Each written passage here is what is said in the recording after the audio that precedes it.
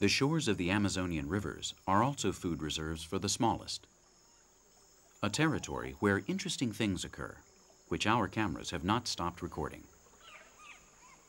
The river here provides mineral salts, enough nutrition to delight even the most delicate of the armies of starlets.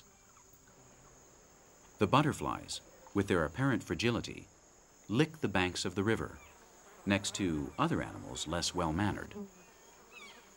There are a countless number of various types of bumblebees that are attracted by the kiss of the river. Each grain of sand from these shores has been bathed by the blessed water of this live basin, and the mineral salts are reason enough to stick out a tongue to surprising limits. Each grain of sand from these shores has been bathed by the blessed water of this live basin, and the mineral salts are reason enough to stick out a tongue to surprising limits.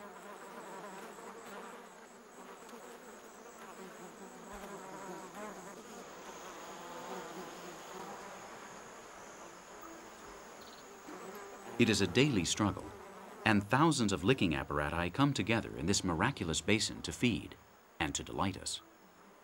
Once again, we are bewitched by the river and its mysterious virtues.